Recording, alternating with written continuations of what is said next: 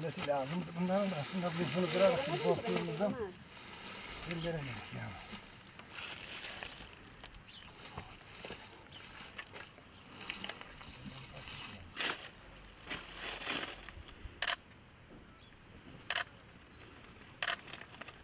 Bak çürümüş bir O çürümüş, o da olmaz, bitmez.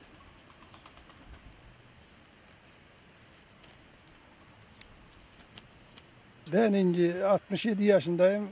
50 senedir her sene ekeriz yani biz. Çünkü bunun kışın tatlısı çok güzel olur. Ankara'da eşimiz dostumuz da çok yani. Onlara birer ikişer her gelmede de veririz. Ve bu tohumdan ilk defa dek geldi. ilk defa böyle büyüdü yani. İnşallah seneye devam edeceğiz. Nasip, ömrümüz varsa nasip olursa.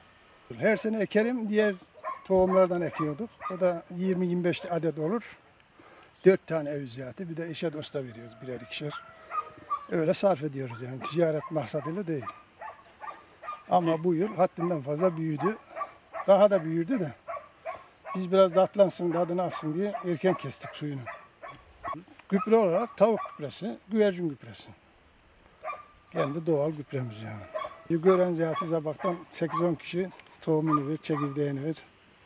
Hem tebrik ediyor hem İnşallah çuvatacağız. Herkes olurdur yani inşallah. Tohumda bir değişiklik olmazsa 40 kilo sağlam var yani 35 ile 40 arası.